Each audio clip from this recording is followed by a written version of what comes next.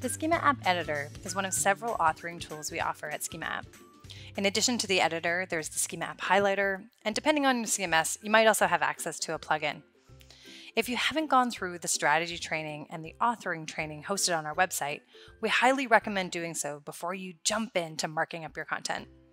The best use cases for the editor are one of a kind pages, such as your homepage or your contact us page, and for pages where the content is fairly static, because if you update the content on the page, you may also have to update the markup as well. Now, if you need to optimize 10 or 100 or thousands of templated pages, or if the content is dynamic and you want it to update automatically, you should check out our Schema App Highlighter. And just a note to say that when you purchase a premium or enterprise subscription, any template marked up using the highlighter where there's less than 20 pages are included for free. Okay, so before we dig into the editor, let's review at a high level some of the features that are built into it. First of all, it includes the entire schema.org vocabulary and all extensions. So no matter what the content is on your webpage, you can optimize it here. All schema markup properties are all organized with required and recommended and other according to Google's documented guidelines. Within the editor, we do real time validations, showing you errors and warnings as you're creating your schema markup.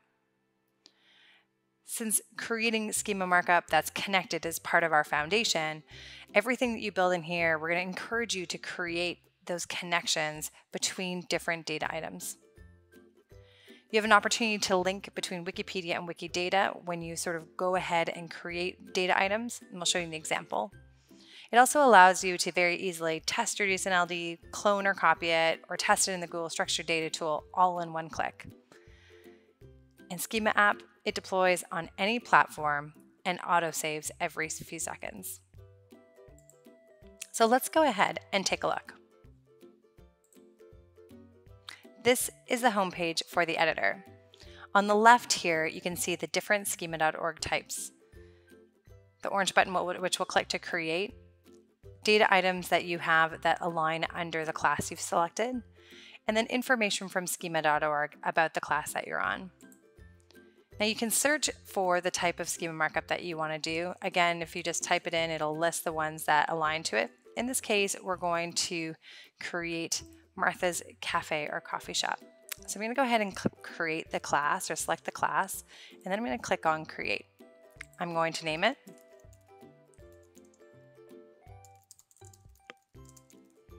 And then I'm going to put the URL. So this is a fictional website, but we'll call it marthascafefancy.com.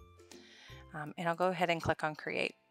Now what this is going to do is bring up a form that allows me then to guide me on again the required and recommended fields in order to match what Google is asking for for the local business feature.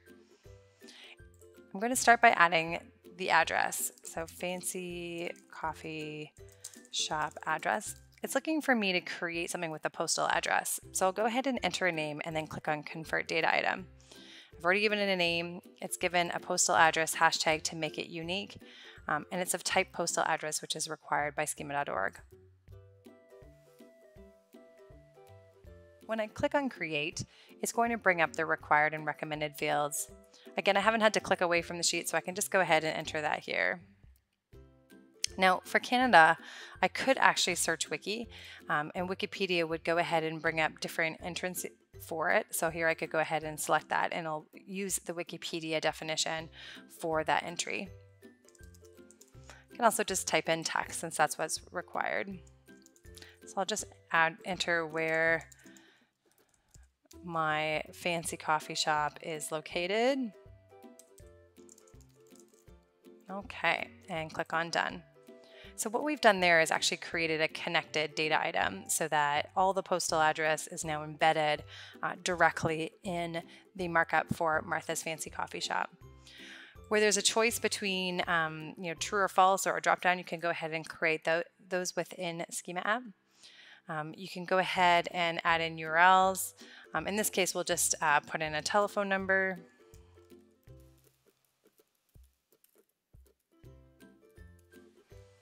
um, and then the URL. The URL you can actually copy from up here and go ahead and paste in. All the warnings are sort of brought up to guide you in your schema markup, as well as guide you on what's required. Now we have all other fields in schema.org available.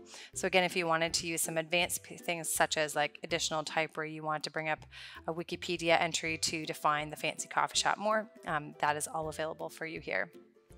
Now it's automatically saved um, and also all the code is created automatically. So here's all the JSON-LD that we've just generated in just those first few seconds.